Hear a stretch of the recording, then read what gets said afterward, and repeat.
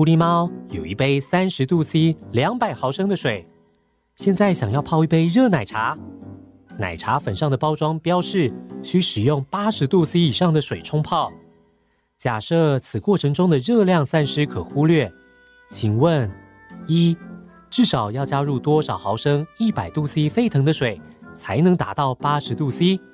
二，加入水后，狐狸猫重新测量水温，发现水温只有七十八度 C。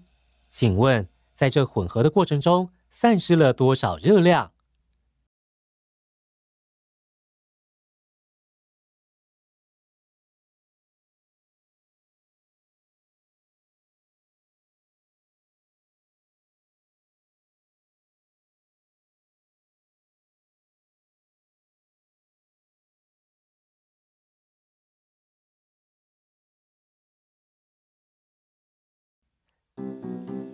在这个题目中，狐狸猫将三十度 C 的水与一百度 C 的水混合。混合过程中，一百度 C 的水会放出热量，三十度 C 的水则会吸收热量。因为题目假设热量散失可以忽略，所以一百度 C 的水放出的热量会完全被三十度 C 的水吸收，也就是放出的热量等于吸收的热量。因此。虽然我们不知道要加入多少一百度 C 的水，无法算出放出的热量，但是可以先计算出三十度 C 两百毫升的水上升到八十度 C 需要吸收多少热量，再用计算出的热量回推需要多少毫升一百度 C 的水才可以使混合后的温度达到八十度 C。分析完题目，让我们一起利用热量公式。算出三十度 C 两百毫升的水上升到八十度 C 需要吸收多少热量？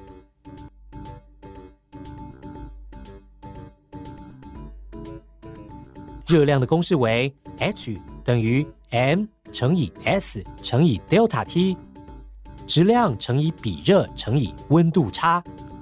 水的密度为每毫升一克，所以两百毫升的水质量为两百公克。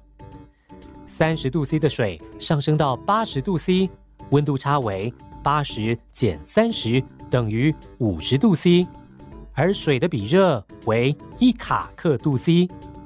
有了以上这些资讯，代入热量的公式，就可以得到吸收的热量等于两百乘以一乘以括号八十减三十。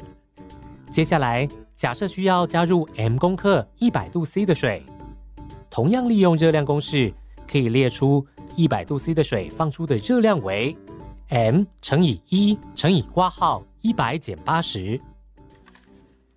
最后，因为吸收的热量等于放出的热量，就能计算出 m 等于五百克。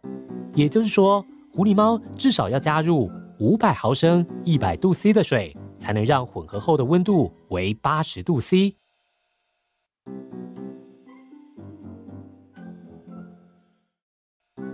不过，为什么狐狸猫用温度计测量混合后的水温，却发现温度低于八十度 C 呢？这是因为在实际情况中，一百度 C 的热水温度比室温高，因此混合过程中有部分的热量会散失到空气中，不会完全被三十度 C 的水吸收。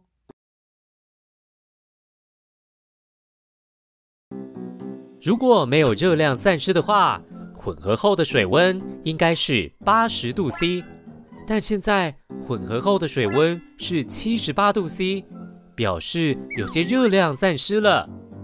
混合后的整杯水包含了五百毫升的热水和两百毫升的冷水，一共是七百毫升，因此散失的热量为七百乘以一乘以括号八十减七十八。等于七百乘以二，等于一千四百卡。